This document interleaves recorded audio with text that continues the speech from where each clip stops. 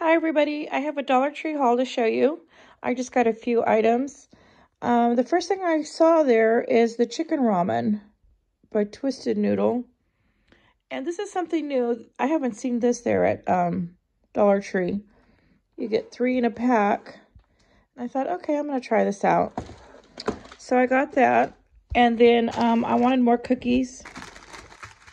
So this is a good deal. You get um, 10 in a pack. I already ate two. So, um, put that there.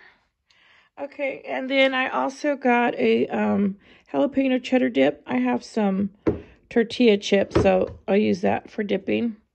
And then you can resave this lid.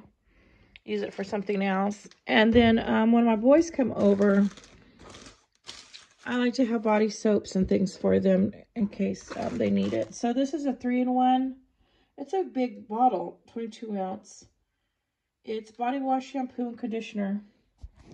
So I got that.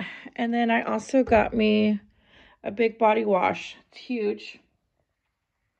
And then um, they had these big shaving creams. So I thought, I got to get that. You can't beat that. 12 ounce. That's a big can. So got that case my boys need that when they come over. And then um, I got another pack of um, razors.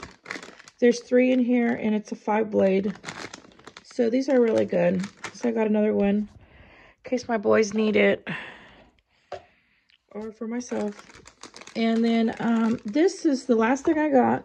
I thought this was really neat. It is a spa gift set, five piece. So it comes with a cup. And then there's a little drink spout right there. And then in the kit, it comes with um, the bath sponge. And it also comes with nail clippers. Put it on your keychain. A nail file. It's cute. And a nail scrub brush. So you can put that on and clean your nails like that. So that's neat. So I like that. So you got all five things in there at the Dollar Tree. So I thought that was a cute little kit with the bath sponge. I always go through a lot of those sponges.